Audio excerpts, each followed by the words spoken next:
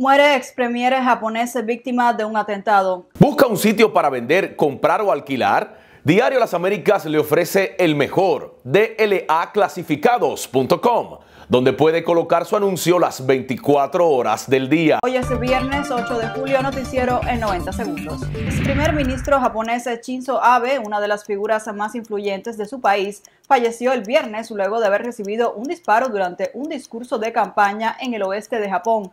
Abe de 67 años fue trasladado a un hospital y fue declarado muerto más tarde. La policía confirmó la detención de un sospechoso y lo identificó como Tetsuya Yamagami, de 41 años, quien ha sido parte de las Fuerzas Marítimas. La autoridad fiscal estadounidense pidió una investigación independiente sobre las auditorías a dos ex jefes del FBI, destacados adversarios del expresidente Donald Trump.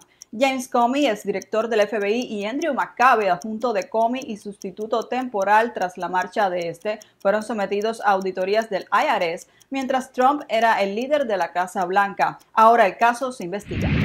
Orlando Gutiérrez Boronat, coordinador de la Asamblea de Resistencia Cubana, expresó la relevancia de aprovechar el aniversario del 11 de julio para respaldar y visibilizar las protestas de 2021 en la isla. Junto a representantes del exilio, el activista dio a conocer las actividades conmemorativas que se realizarán este lunes en Miami. La petrolera estadounidense Chevron buscaría ampliar sus operaciones en Venezuela para aumentar su producción y recuperar la deuda que PDVSA tiene pendiente. Esto implica que Chevron tomaría el control de todas sus operaciones en empresas conjuntas con PDVSA, pero dependería de si el gobierno de Joe Biden decide relajar las sanciones que mantiene sobre la industria petrolera venezolana y el régimen de Nicolás Maduro.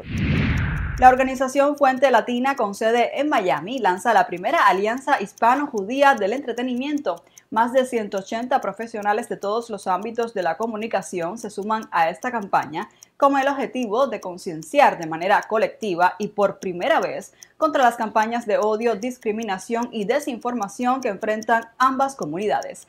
Para ampliar estas y otras noticias, visite diariolasaméricas.com.